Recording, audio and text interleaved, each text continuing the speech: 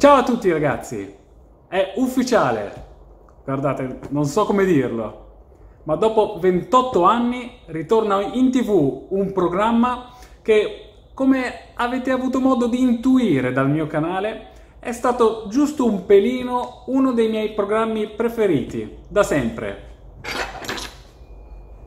Vi ricordo qualcosa? Un piatto in mezzo? Un jingle che suona quando gira la ruota? Proprio così ragazzi, ritorna in tv Il pranzo è servito. Il pranzo è servito ragazzi. Ma di quello che è trapelato finora dai vari mezzi di informazione ci sono tre novità rispetto alle scorse edizioni.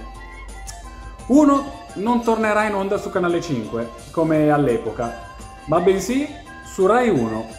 Eh sì, la Corima, la storica casa produttrice di questo format, affidato alla RAI la messa in onda di questo programma. 2. L'orario. Non andrà in onda all'ora di pranzo, come all'epoca, ma bensì alle 14, più o meno dopo eh, il TG1 delle 13.30.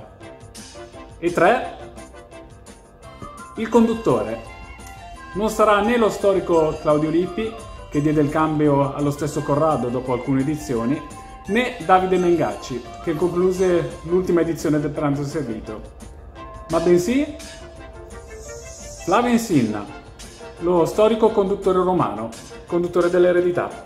Sarà lui a riproporre in tv questo programma. Che ne pensate? Siete contenti oppure no eh, di questo storico ritorno in tv di questo programma, dell'orario, del conduttore? Scrivetemi cosa ne pensate, come la vedete, qui sotto nei commenti.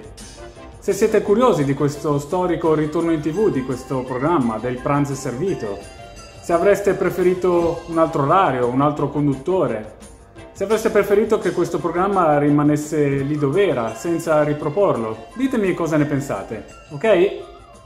Grazie dell'attenzione, ciao a tutti!